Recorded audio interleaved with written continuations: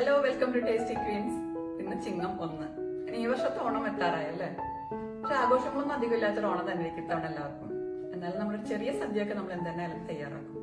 ഇപ്പൊ പായസം എന്തായാലും എല്ലാവരും തയ്യാറാക്കുന്ന ഒരു ഐറ്റം തന്നെയായിരിക്കും. അപ്പൊ ഒരു മാമ്പഴ പ്രഥമന്റെ റെസിപ്പിയാണ് ഞങ്ങൾ ചെയ്യാൻ പോകുന്നത്.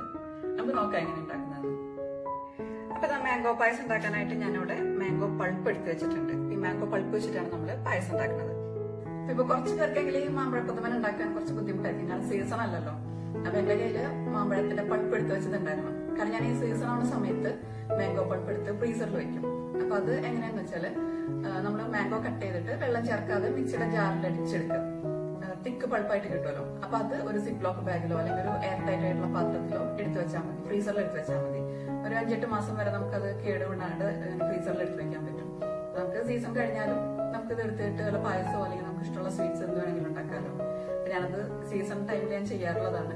അങ്ങനെ എടുത്തു വെച്ചാൽ പഴുപ്പ് വെച്ചിട്ടാണ് ഞാനിപ്പോ ഇവിടെ പായസം ഉണ്ടാക്കുന്നത്. ഞാനിവിടെ ഒരു മൂന്ന് മാംഗോയുടെ പഴുപ്പാണ് ഈ എടുത്തിട്ടുള്ളത്. പിന്നെ നമുക്ക് വേണ്ടത് ശർക്കര വിൽക്കിയത്. നാളികേരപ്പാൽ. ഒന്നാം പാലും രണ്ടാം പാലും എടുത്ത് വെച്ചിട്ടുണ്ട്.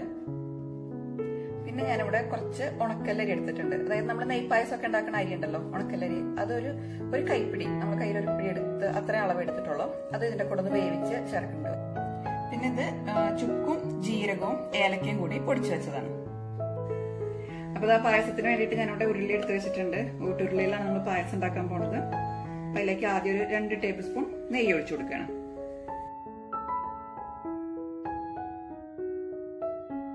അപ്പൊ അത് നെയ്യ് ചൂടായിട്ടുണ്ട്. അതിലേക്ക് ഞാൻ ആ മരുത്ത് വെച്ചിരിക്കുന്ന മാംഗോ പൾപ്പ് അങ്ങ് ഒഴിച്ചു കൊടുക്കുകയാണ്. ഈ മാമ്പഴത്തിന്റെ പൾപ്പ് നമുക്ക് നെയ്യിലൊന്ന് ഒരു രണ്ട് മൂന്ന് മിനിറ്റ് നേരം ഒന്ന് വഴറ്റി അപ്പോഴേക്കും ഒന്ന് ചെറുതായി തിക്കായിട്ട് വരും. അപ്പൊ അതിനുശേഷം മാത്രം നമുക്ക് ബാക്കിയുള്ള ഇൻഗ്രീഡിയൻസ് ആഡ് ചെയ്ത് കൊടുത്താൽ മതി.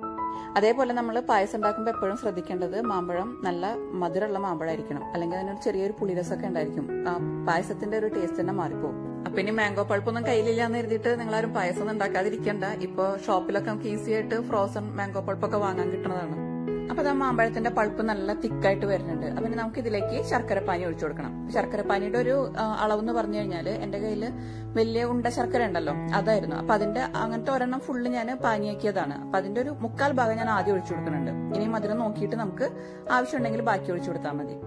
അപ്പൊ കയ്യിലുള്ള ശർക്കര നല്ല കറുത്ത ശർക്കരയാണ് കേട്ടോ. നമുക്ക് പ്രഥമനൊക്കെ ഇങ്ങനെ ഒരു കളർ ഇങ്ങനത്തെ ഒരു കളർ വരുന്നതല്ലേ ഭംഗി. അപ്പൊ ആ മധുരം ഒന്ന് ചെക്ക് ചെയ്തപ്പോൾ മധുരം കുറച്ച് കുറവാണ്. ഞാൻ ആ ബാക്കി ശർക്കര പാനി കൂടി ഒഴിച്ചു കൊടുത്തിട്ടുണ്ട്. ഇപ്പൊ നിങ്ങളുടെ കയ്യിൽ ഫ്രഷ് മാമ്പഴം ഉണ്ടെന്നുണ്ടെങ്കിൽ അത് വെച്ചാണ് പായസം ഉണ്ടാക്കണമെന്നുണ്ടെങ്കിൽ മാങ്ങ കട്ട് ചെയ്തിട്ട് ഒരു സ്വല്പം വെള്ളം ചേർത്തൊന്ന് വേവിച്ചെടുത്തിട്ട് ഒന്ന് മിക്സിയിൽ അടിച്ചെടുക്കുക. അപ്പൊ ഇതുപോലെ പഴുപ്പായിട്ട് കിട്ടും. അപ്പൊ ബാക്കി സെയിം പ്രൊസീജിയർ തന്നെയാണ്.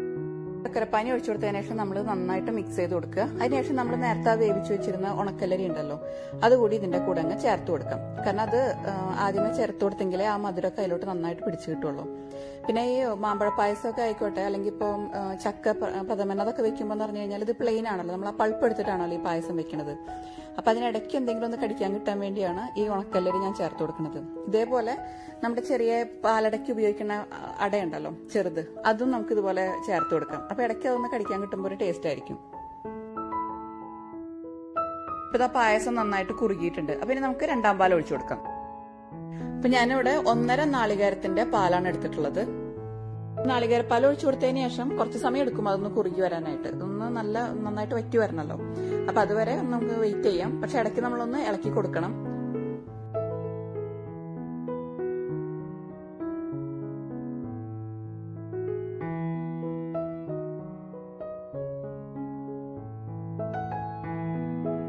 അപ്പൊ ഞാൻ ഇതിലേക്ക് നേരത്തെ പൊടിച്ചു വെച്ചിരുന്ന ഏലക്കായ ചുക്ക് ജീരകം ഇത് മൂന്നും കൂടി പൊടിച്ചു വെച്ചതാണ്. അതൊരു കാൽ ടീസ്പൂണോളം ഇട്ട് കൊടുത്താൽ മതി.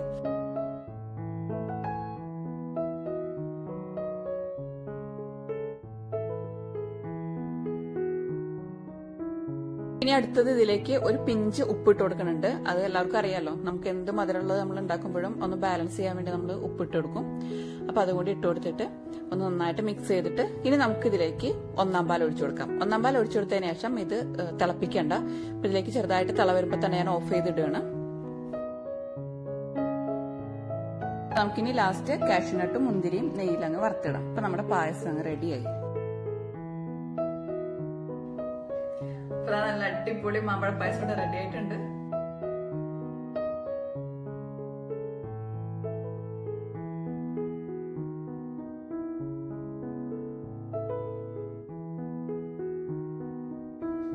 ഇത്തവണത്തെ ഓണത്തിന് എല്ലാവരും ഈ മാമ്പഴ പായസം ട്രൈ ചെയ്ത് നോക്ക്.